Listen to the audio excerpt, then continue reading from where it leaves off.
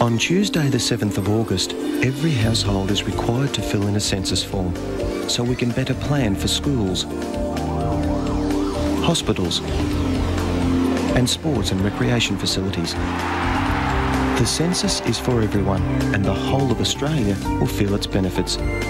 So, wherever you are, please fill in the form on census night, Tuesday, the 7th of August, because in planning a better future, we're counting on you.